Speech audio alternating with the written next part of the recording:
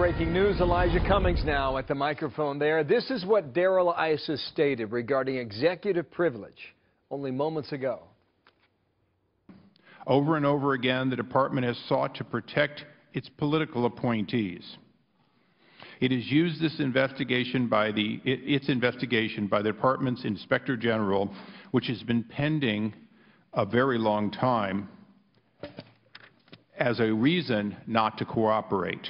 We are now on the second Inspector General. There's been no interim report, and although they say it will be forthcoming within a month, we and the American people need answers sooner, not later. But apparently those answers will not be today and possibly not time, uh, no time, anytime soon. Judge Andrew Napolitano with me now. Uh, Judge, good morning to you. Bill. Executive privilege now exerted, signed off by the President. What does this mean, Judge? This means that this is going to an, a, a, new level this morning, Bill. This means that we may be on the precipice of a constitutional confrontation between the executive branch, the White House, and the Congress. Executive privilege is defined in the leading Supreme Court case, interestingly, United States versus Nixon. That's Richard Nixon. That's the Watergate era. That's the efforts of the special prosecutor to subpoena tapes from President Nixon as protecting conversations with the president himself.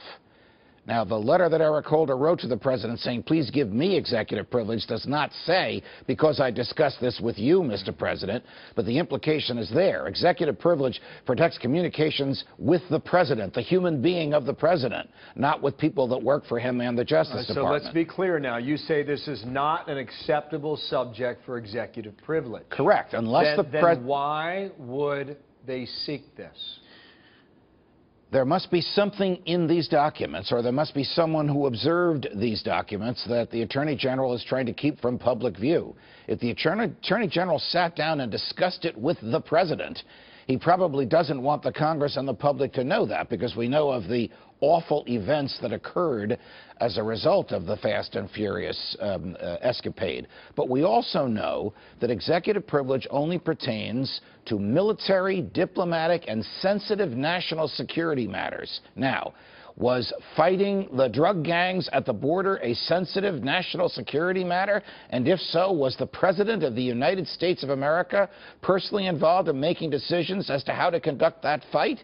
If that's the case, this has reached a different level, and we now okay. know why the Attorney General has ferociously defended these documents and refused to reveal them. Two specific questions. Does the Attorney General now have to show or prove why executive privilege applies here then?